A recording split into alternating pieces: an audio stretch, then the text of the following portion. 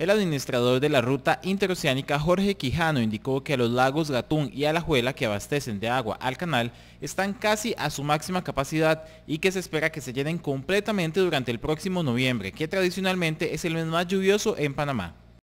Hemos estado hablando de este tema desde el año 2015. Nosotros ni siquiera habíamos empezado la ampliación y ya estábamos hablando de este tema en distintos foros, diciendo, problema del agua viene ya lo tenemos, pero se va a acentuar. Y en la medida que entramos con la ampliación y que queremos que crezca, esto se convierte en una razón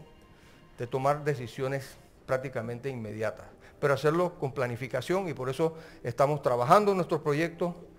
para nosotros culminar eh, de una manera organizada lo que podría ser ese concepto, ese diseño conceptual de un eh,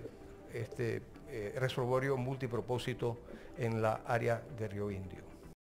El Canal de Panamá se vio obligado en abril de 2016 a anunciar limitaciones de calado porque el nivel de los lagos era muy bajo, una medida que la ruta acuática no aplicaba desde 1998, año en el que las consecuencias del fenómeno El Niño fueron también muy severas.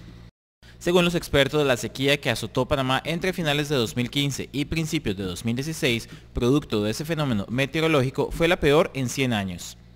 La vía interoceánica, por el que pasa cerca del 6% del comercio mundial, opera con unos sistemas de esclusas en distintos niveles, que requieren 202.000 metros cúbicos de agua cada vez que pasa un barco.